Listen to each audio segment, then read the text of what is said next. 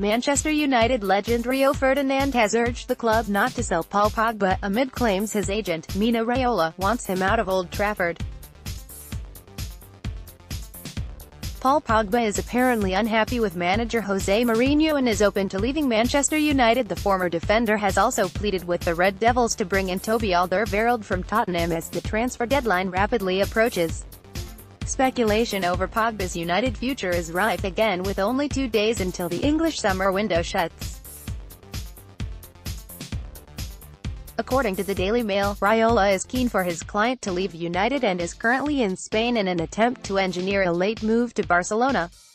Reports on Monday night claimed United had rejected a stunning bid of 50 million euros plus two players, believed to be Andre Gomes and Yerry Mina, from the Catalan club.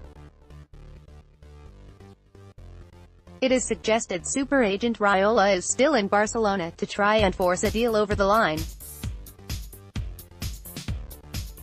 but Ferdinand, who made over 450 appearance for United, has urged his former club to keep hold on their £89 million record signing. Posting on Twitter, the former England centre-back said, Don't you dare allow this said, United CEO Ed Woodward.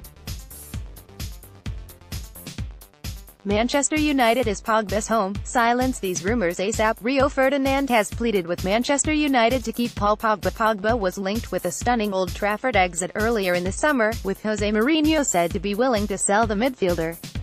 Club officials, though, were keen to see their £89 million record signing stay.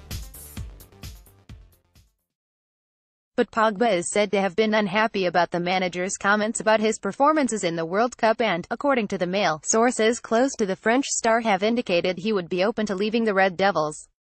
The 25-year-old lifted the trophy with France and earned praise for his displays in Russia, but Mourinho claimed the midfielder doesn't have the same focus with United as when he plays for Les Bleus.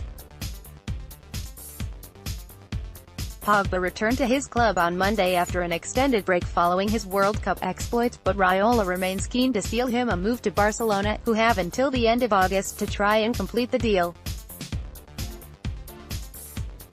Pogba was one of France's best players as they won the World Cup this summer under new guidelines. The transfer window for Premier League clubs closes at 5 p.m. on Thursday, before the first game of the new season, but teams in the rest of Europe have until the end of the month, as normal, to complete their business. Ferdinand also urged United to get Toby Alderweireld through the door before Thursday's deadline. Mourinho has made signing a new centre-back his top priority in the last few days of the window. Alderweireld has been linked with the move to Old Trafford for months but the deal appears to have stalled over Tottenham's £60 million valuation of the Belgian, with United believed to be willing to offer around £40 million. United have also been linked with an interest in Leicester City's Harry Maguire, but Ferdinand wants the club to move for Alderweireld instead.